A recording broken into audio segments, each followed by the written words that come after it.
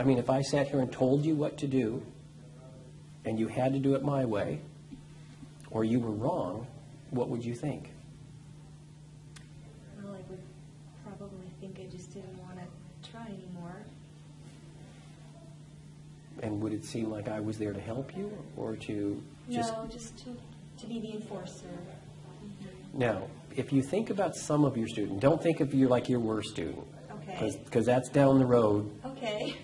But think of some of those middle ones. You know those middle ones that can kind of slide towards the better behaving kids or the less mm-hmm, behaving mm-hmm. kids? Depending on what day it is. Yeah. Mm-hmm. So do you think that if you treated them with respect and self-evaluation, if a few of those would come around? Probably. I mean, you know, I think, I think because they're on the fence. Right. I think that um, if they really felt that I was somebody who maybe respected them in some way, I think, I think they would come onto the other side of the fence. And, and asking the questions and moving on doesn't mean that you have to be soft about it. Mm-hmm. Okay, because that is my concern. I don't want to be, I Right. don't want to be the softy and then get run over. Absolutely, because they'll, they'll smell blood. They will, and they'll take advantage. They're going to find my, my weak spots, and they're going to, Absolutely. they're going to pick those. Right. At the same time, they also don't respond well to the supreme authority.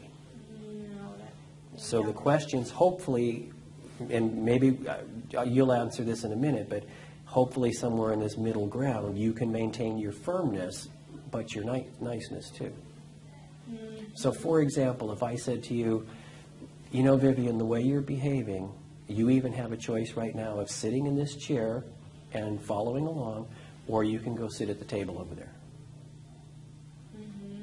Now, do you have any doubt that I'm serious? No, I think you're quite serious. Okay, and yet did I say it nicely? Yeah, it was sure nice enough.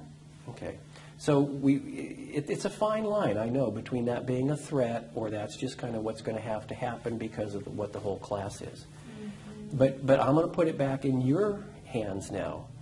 Do we need to talk for a few more minutes now about very specific questions? Or do you want to go back and think about it and maybe in a day or two take another 10 or 15 minutes? Mm -hmm. Well, I think I'll ask better specific questions if I can go back and maybe Okay. think about it a little bit and maybe try it a bit in my class. Okay. And, and if you find some places where it seems to work and not work, maybe we can troubleshoot then. Because no matter how good you get with the questions, they'll learn them and they'll, they'll get ways around them. So you kind of have to keep, you get past one line of defense and then the other and then the other. And you've got plenty to worry about right now. I don't mean worry, worry, but I mean, as a first year teacher, you've got your hands full. Mhm, I certainly do. But I tell you, it's very nice to see you after nine weeks, still ready to smile and, and not afraid to say that there's some things I need help with. And I hope we can always have that kind of relationship. Right, me too.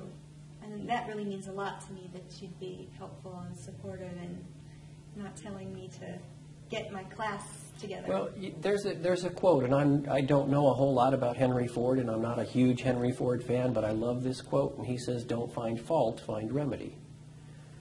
And it's easy to point fingers at, at things and say, "Well, you should be doing this, you should be doing that," but that's anybody can criticize somebody. Mm-hmm. The hard part is how do we help people continue to grow? And I have mentors too that I, you know, keep asking questions of or, or whatever. So none of us ever knows it all.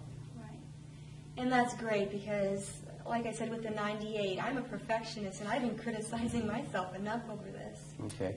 And may I then, then may I en- then end with this? As a first-year teacher, is being a perfectionist helping you? No.